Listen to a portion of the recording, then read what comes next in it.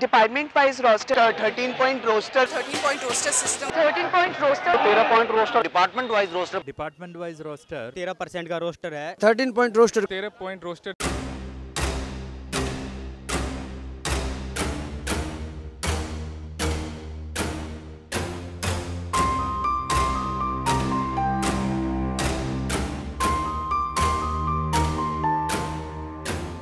As we know that the 200 point roster that was previously there, that counted a whole university or a college as a unit. So how many seats that were vacant, the uh, reservation used to get implemented accordingly. But the thing is now with 13 point roster, the only a department or a center will be counted as a unit. So there the problem will come that the first three seats will be reserved for the unreserved categories. The fourth seat will come for the OBC and that's how it will go on. क्योंकि roster में आप देखेंगे कि जो SC का post है वो सातवां है एसटी का पोस्ट चौदहवां है तो ऐसी स्थिति में अगर पोस्ट कम अ, अ, अ, होंगे तो उन, उनका एसटी की बारी सालों बाद आएगी। तो यहाँ एक बहुत साफ़ है, अगर हमने देखा है पिछले लगातार दिनों में, कि जो भी नई यूनिवर्सिटीज आई, वहाँ पर एसटी का पोस्ट बिल्कुल गायब है एससी का पोस्ट गायब है। आप एडवर्टीजमेंट देख सकते हैं कि उसमें बहुत साफ़ साफ़ इस चीज़ का असर दिखाई दे रहा है। आज तेरह परसेंट का रोस्टर है।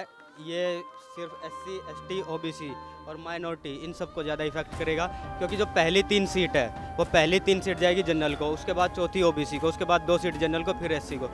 कभी भी ऐसा नहीं होता कि विभागवार कभी भी आठ, दस पोस्ट निकली हो, हमेशा दो या तीन पोस्ट निकलती है। पिछले साल इलाहाबाद हाई कोर्ट ने एक पेटिशन के जजमेंट में 200 पॉइंट रोस्टर को स्टक डाउन कर दिया था। उसके बाद सुप्रीम कोर्ट में केस गया, वहाँ भी इस इलाहाबाद हाई कोर्ट के जजमेंट को अपहोल्ड किया गया। और इस बीच में डूटा ने और देश के विभिन्न भागों से दलित और बहुजन समाज ने आंदोलन डेवलप किया, विकसित किया और एमएचआरडी ने डूटा के डेलीगेशन को यह प्रॉमिस किया कि वो सुप्रीम कोर्ट के डिसीज़न को अंडू करने के लिए एक ऑर्डिनेंस लाएँगे या पार्लियामेंट में बिल लाएँगे।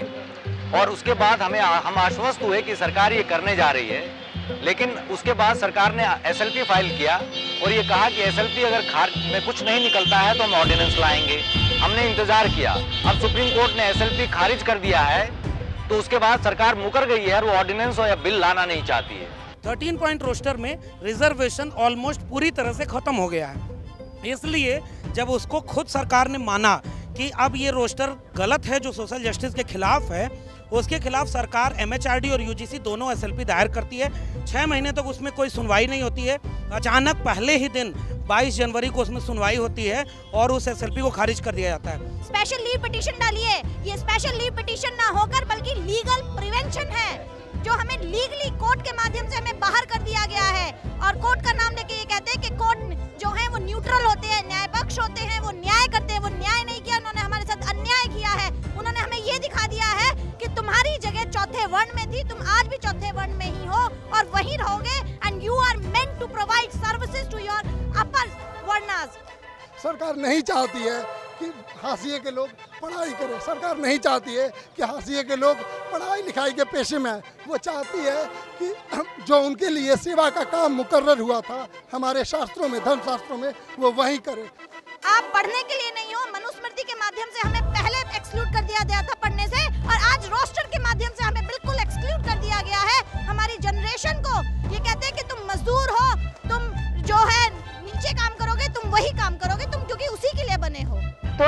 यूजीसी ने 2006 से पहले जब आंकड़े जमा किए तो देखा कि 15 प्रतिशत एस होने की बजाय सिर्फ़ 2 प्रतिशत एस हैं और इसी तरीके से एस का नंबर और बहुत कम है।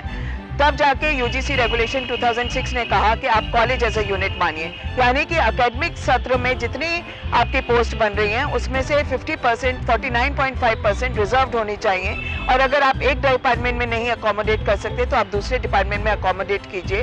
आपको 40 प्रोपोर्शनल डिस्ट्रीब्यूशन का भी एक तरीका हो सकता है। दिल्ली विश्वविद्यालय ने इसके लिए अपना एक तरीका निकाला।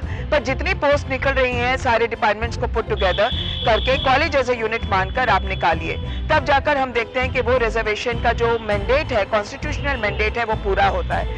और अगर 200 पॉइंट रोस्टर चला जाता है और डिपार्टमेंट वाइज रोस्टर बनता है तो हम, हमारा मानना है कि एस सी और ओबीसी की बड़ी संख्या के अंदर छटनी होगी, उनकी नौकरियाँ जाएँगी, और हम समझते हैं कि एक समता मूलक समाज के पूरे निर्माण के, के, के दृष्टिकोण से ये बहुत बड़ा झटका होगा और समाज को पीछे धकेलना होगा। ये बहुत ज़रूरी है कि आज 200 पॉइंट रोस्टर ट्रीटिंग कॉलेज या यूनिवर्सिटी एज ए यूनिट बहाल हो और इसके लिए हम चाहते हैं कि सरकार बिल या ऑर्डिनेंस लाकर इसको तुरंत सोल्यूशन निकाले। दिल्ली विश्वविद्यालय में एक और नई सिचुएशन ये है कि पिछले तमाम सालों से यहाँ पर परमानेंट पोजीशंस के अगेंस्ट फुल वैकेंसीज के अगेंस्ट एडॉक टीचर्स काम कर रहे हैं। और 2013 से 200 point roster treating college as unit university as unit लागू है। आज अगर ये बदलता है तो तमाम लोगों का डिस्प्लेसमेंट होगा, जिसमें भारी संख्या एस टी एस सी की बाहर हो जाएगी।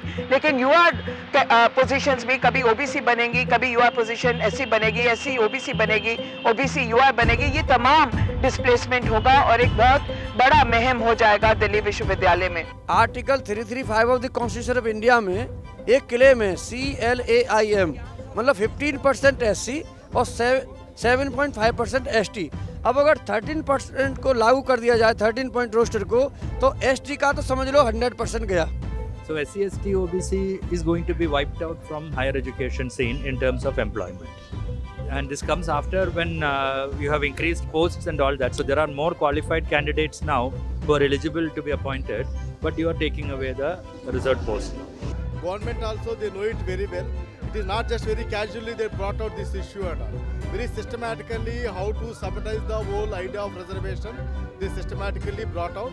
तो पहली पीढ़ी जो आई है विश्वविद्यालयों तक ये जो 13 पॉइंट यानी डिपार्टमेंट वाइज रोस्टर है ये पूरी तरह उनके लिए दरवाजे बंद कर रहा है हम जब यहाँ रिसर्च करते हैं पीएचडी करते हैं तो ये उम्मीद करते हैं कि जब हमारे हमारा थीसिस जमा होगा जब हम पीएचडी कर लेंगे तब हम इन यूनिवर्सिटियों में बतौर असिस्टेंट प्रोफेसर काम करेंगे लेकिन सरकार का ये जो हालिया रोस्टर सिस्टम है, ये हमारे मंसूबों पर पानी फेरता है। हम जानते हैं कि कभी मनुस्मृति में ये बताया गया था कि कुछ खास तबके जो कि इस देश के हाशिए के लोग हैं, जिन लोगों ने इस देश को बनाया है, उनको पढ़ने का हक नहीं है। अगर वो पढ़ने की ज़रूरत करेंगे तो उनके साथ बुरा सलूक किया जाता था। सरकार कुछ ऐसा ही कर रही है। इस आंदोलन को यूनिवर्सिटी से बाहर निकाल के सामाजिक आंदोलन बनाने की ज़रूरत है। सड़कों पर लड़ने की ज़रूरत है। इकट्ठा होकर लड़ने की ज़रूरत है। डूटा किससे है? हम सबसे हम सब डूटा के हिस्से हैं। S C S T OBC DUTA से अलग नहीं है। हम देख रहे हैं कि सरकार एक तरफ़ तो एस सी एस टी और ओबीसी के अधिकारों को मार रही है। और उनके रोस्टर को खत्म करके नौकरियों से उनको पीछे धकेल रही है और जो नई जनसंख्या आने वाली है, जो छात्र जो शोध करता है रिसर्च स्कॉलर्स हैं, उनके लिए दरवाजे बंद कर रही है।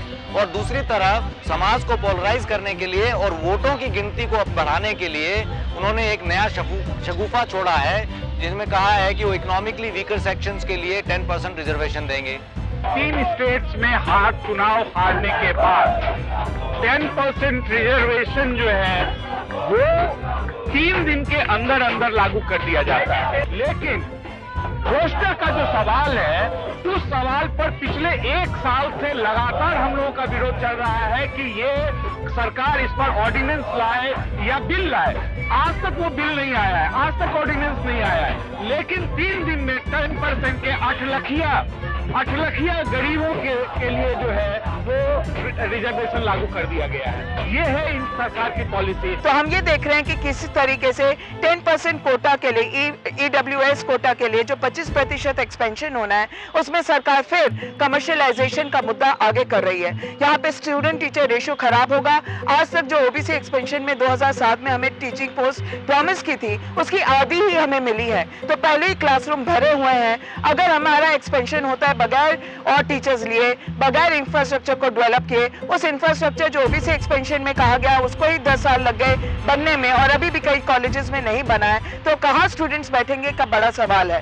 पर ये सरकार का एक तरीके से आप देखें नॉन सीरियसनेस नॉन कमिटमेंट कि हम वो किसी चीज़ को कमिट करने को तैयार नहीं। और दूसरी बात ये कि कमर्शियलाइजेशन का पूरा एजेंडा कॉन्ट्रेक्चुअल टीचिंग पोस्ट पे उनका फोकस होना हीफा से लोन लिया जाए, इसके ऊपर फोकस होना तो वो किस एजेंडे को पुश कर रही है, इस 25 प्रतिशत एक्सपेंशन के अंडर एक तरीके से कवर के अंडर ये हमें देखने की बात है। इसकी लीगैलिटी टेक्निकलिटी और पॉलिटिकल एस्पेक्ट में ना जाते हुए, अगर हम तुरंत प्रभाव से अगर ये देखें कि यूनिवर्सिटीज और कॉलेजेस पे इसका क्या प्रभाव होने वाला है तो सरकार ने आदेश दिया है कि वह इस रिजर्वेशन को लागू करने के लिए 25 प्रतिशत विद्यार्थियों की सीट बढ़ाएगी। इसके लिए ना तो कोई इंफ्रास्ट्रक्चर के लिए कोई उनका ध्यान है, कोई पैसा इसके लिए अलोकेशन नहीं कर रहे हैं, ना ही समय है कि इस समय पे पैसा अलोकेट करके इंफ्रास्ट्रक्चर को किसी तरह से बिल्ड किया जा सकता है। ना ही वो टीचिंग है टीचर्स की पोजीशन भी देने के लिए मना कर रहे हैं और आनंद फानन में मई के चुनाव को ध्यान में रख करके ये शगुफा उन्होंने छोड़ा है। और हम समझते हैं कि इस प्रकार से ये 25 प्रतिशत सीटों को अगर दिल्ली यूनिवर्सिटी और बाकी देश के बाकी सेंट्रल यूनिवर्सिटी और स्टेट यूनिवर्सिटीज में बढ़ाया जाएगा तो इंफ्रास्ट्रक्चर क्रम्बल करेगा और जो गुणवत्ता होनी चाहिए शिक्षा के अंदर, उससे एक भयंकर और बड़े पैमाने के ऊपर कंप्रोमाइज होगा।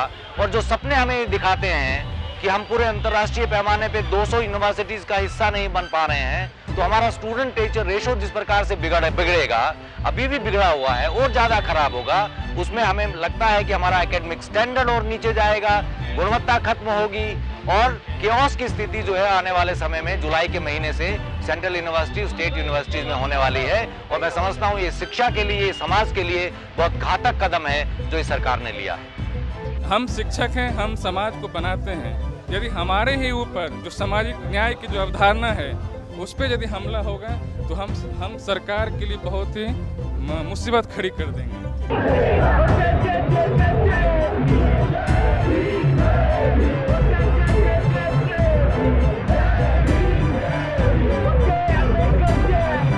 तो कुल मिलाकर के जो संवैधानिक अधिकार है, उसका एक तरह से हनन है। तो उस हनन के ना हो, इसकी भरपाई के लिए सारे जो एस सी के लोग हैं ओबीसी के पूरे भारत में, सारी सेंट्रल यूनिवर्सिटीज में अपनी मांग कर रहे हैं कि ये रोस्टर 13 पॉइंट या डिपार्टमेंटल रोस्टर है, ये वापस हो और हमारा 200 पॉइंट रोस्टर है, जो college as a single unit है, जो university as a single unit है, वो हमारा ऐसा का वैसा ही रहना चाहिए। क्यों ऐसा हो रहा है? क्योंकि नई पीढ़ी नब्बे के बाद जो पिछड़े तबकों की माइनॉरिटीज की, मुस्लिम माइनॉरिटीज की आ रही है उसको खत्म करने का ये साजिश है।